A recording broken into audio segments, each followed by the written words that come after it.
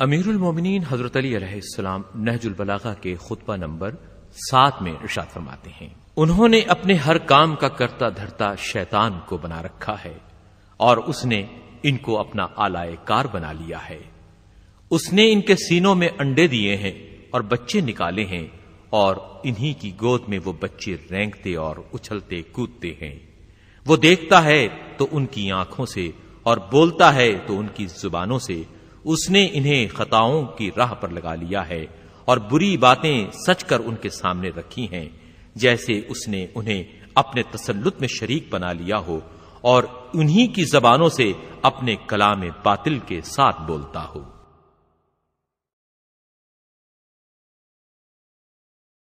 مومنین حضرت علی علیہ السلام نہج البلاغہ کے خطبہ نمبر گیارہ میں ارشاد فرماتے ہیں، یہ خطبہ جنگ جمل میں علم اپنے فرزند محمد بن حنفیہ کو دیتے وقت ارشاد فرمایا۔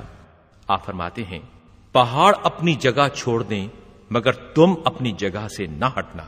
اپنے دانتوں کو بھینچ لینا، اپنا کاسا سر اللہ کو آریتن دے دینا، اپنے قدم زمین میں گاڑ دینا، لشکر کی آخری صفوں پر اپنی نظر رکھنا، اور دشمن کی کثرت و طاقت سے آنکھوں کو بند کر لینا، اور یقین رکھنا کہ مدد اللہ ہی کی طرف سے ہوتی ہے۔ المومنین، حضرت علی علیہ السلام نہج البلاغہ کے خطبہ نمبر اٹھارہ میں ارشاد فرماتے ہیں، یہ خطبہ فتوا میں علماء کے مختلف العرا ہونے کی مذمت میں ارشاد فرمایا گیا ہے۔ حضرت علی اپنے اس خطبے میں ارشاد فرماتے ہیں، جب ان میں سے کسی ایک کے سامنے کوئی معاملہ فیصلے کے لیے پیش ہوتا ہے، تو وہ اپنی رائے سے اس کا حکم لگا دیتا ہے۔ پھر وہی مسئلہ بالکل اسی طرح جب دوسرے کے سامنے پیش ہوتا ہے، تو وہ اس سے پہلے کے حکم کے خلاف حکم دیتا ہے۔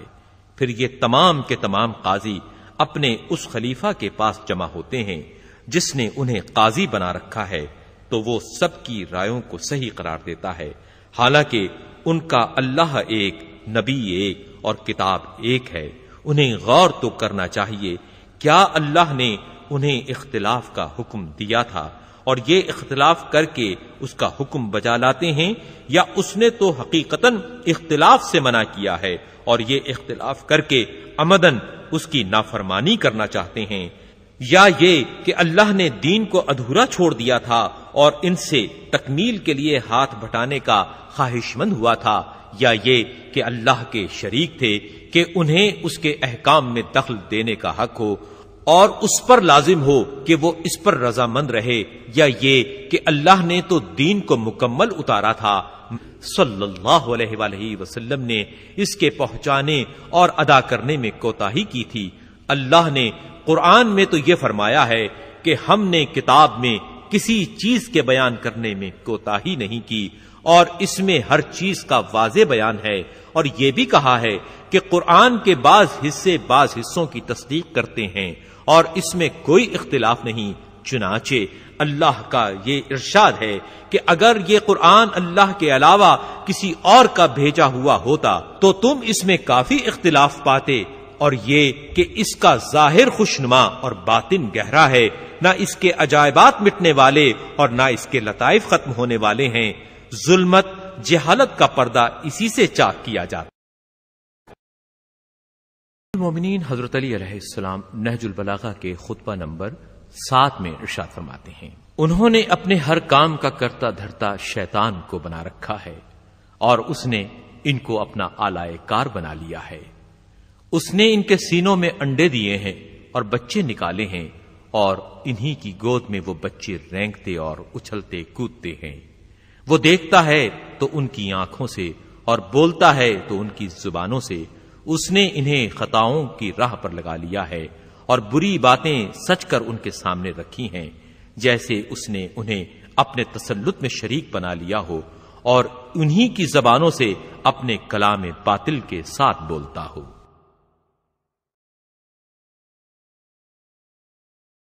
مومنین، حضرت علی علیہ السلام کے خطبات عالیہ۔ نہج البلاغہ۔ نہج البلاغہ کا خطبہ نمبر بائیس آپ کی سماعتوں کی نظر ہے۔ امیر المومنین حضرت علی علیہ السلام نہج البلاغہ کے خطبہ نمبر بائیس میں ارشاد فرماتے ہیں، معلوم ہونا چاہیے کہ شیطان نے اپنے گروہ کو بھڑکانا شروع کر دیا ہے اور اپنی فوجیں فراہم کر لی ہیں تاکہ ظلم اپنی انتہا کی حد تک اور باطل اپنے مقام پر پلٹ آئے۔ امیر المومنین حضرت علی علیہ السلام ارشاد فرماتے ہیں، خدا کی قسم انہوں نے مجھ پر کوئی سچا الزام نہیں لگایا ہے، اور نہ انہوں نے میرے اور اپنے درمیان انصاف برتا۔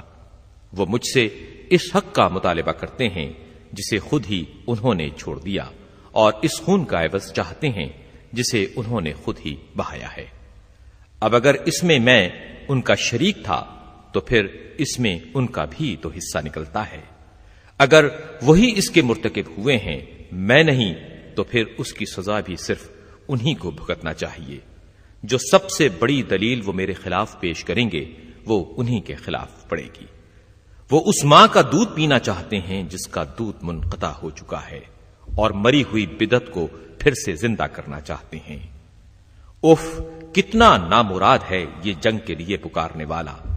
یہ ہے کون جو للکارنے والا ہے اور کس مقصد کے لیے اس کی بات کو سنا جا رہا ہے؟ اور میں تو اس سے خوش ہوں کہ ان پر اللہ کی حجت تمام ہو چکی ہے اور ہر چیز اس کے علم میں ہے۔